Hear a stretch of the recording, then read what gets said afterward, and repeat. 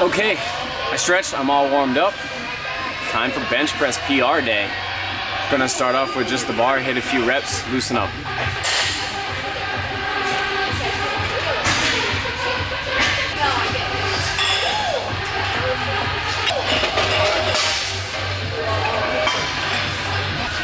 I'm gonna rep out a few at 135.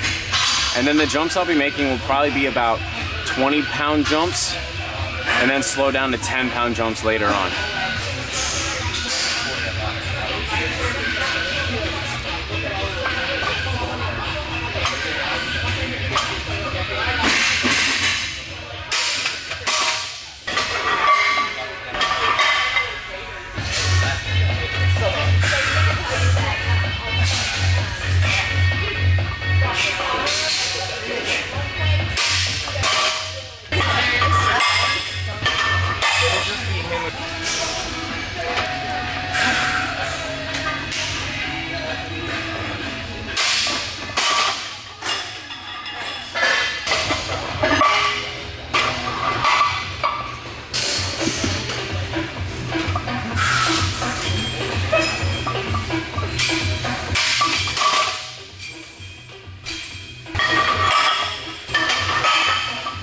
So a little bench press history for me. I've hit 225 once before.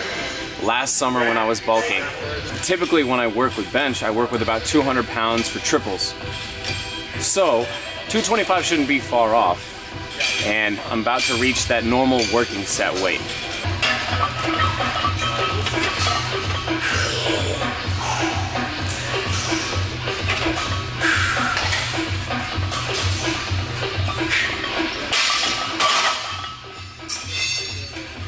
Not bad, not bad. That's 195. We're gonna go ahead and put on the other 45s now, and we'll hit 225.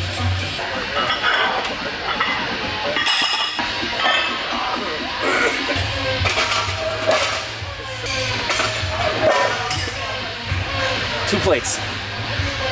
I don't know how long I'm gonna have this new car.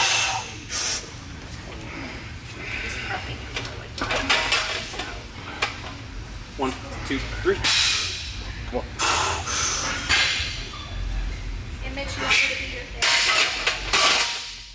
225. Easy. Gonna try 245 next.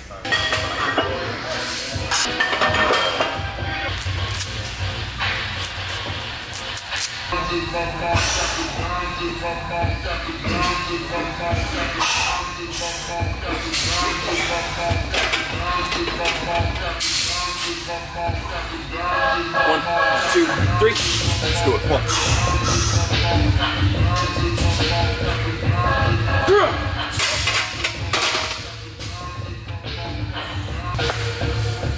245.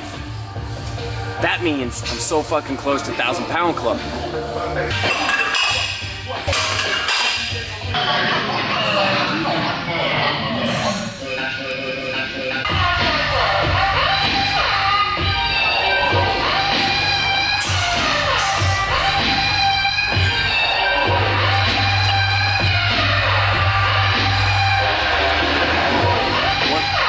Come on.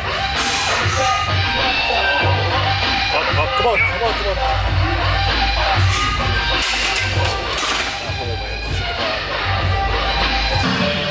All right, there you have it.